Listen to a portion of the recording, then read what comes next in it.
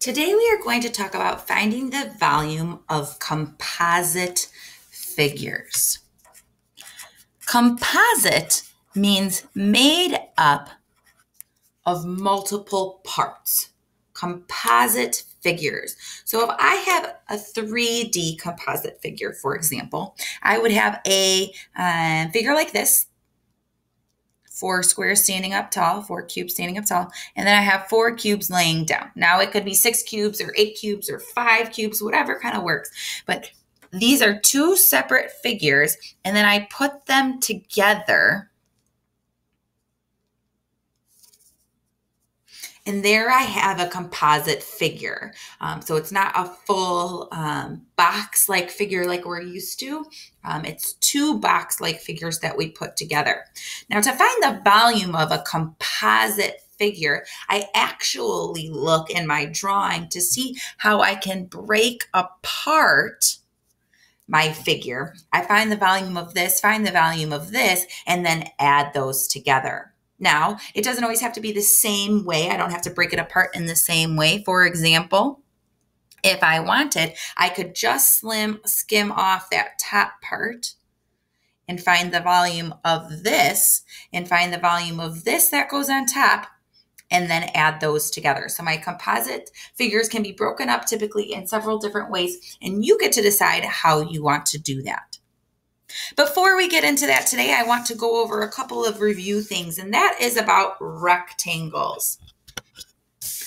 We know already that when I have a rectangle and I have side measurements for that rectangle, the opposite side of my rectangle will always have the same measurement. Because this is 3, this will also be 3.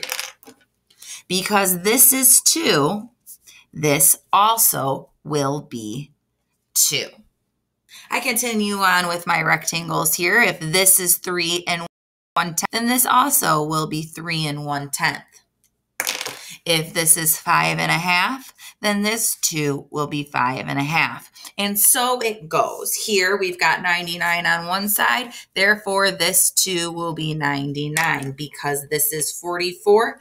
That means that this across will also be 44. When we're dealing with rectangles, the opposite side will always have the same measurement. Now, that helps us a lot down here when I get to my composite figures. When I look at this composite figure, the first thing that I need to do is break it apart. We can see that there are two rectangles here that have been mushed together. Now, I could go ahead and make this one long rectangle and divide it right here. Or if I want, I can make the bottom part long and cut it off right here no matter what, when I break my um, composite figure apart, I want to find the volume of each part and then add those parts together to get the volume of the whole figure. For today, I am going to go ahead and make my uh, break right here. So I've got volume A and I've got figure B. So I need to find the volume for figure A and then I'll have to find the volume of figure B. Now for both of those, I do use the same formula. Volume equals length times width times height. Volume equals length times width times height. And now my, my figure has is just made of a bunch of different rectangles. So I need to go ahead and start by looking at figure A. Well, I already know that the height of figure A is 10. V equals 10. I can start that off right away. What I need to figure out is my length and my width. So I go ahead and notice that over here, there are a lot more measurements. And then I can go ahead and highlight um, where my rectangles are. So I know that right here, this is two. And across from that on my rectangle is this measurement. And because this is two, then that means this is two. But this is the start of a new rectangle. And opposite of this side on this rectangle is right here. So since this is two, this is 2. But this also starts a new rectangle, making the opposite of that right here, making that another 2. And then we've got one more rectangle, making this a 2 as well. So all of these line up because they are rectangles. And since this is a 2 and I move my way up, this is also a 2. A little bit trickier, but still an option is noticing that this entire thing is 12. I need to know though what this little part is and that little part alone. So I look across and I see that this is 8. So if that is 8, that means all of this little bit is also 8. Now if this entire thing is 12, and this section is 8, that leaves me with 12 minus 8, which is going to get me 4.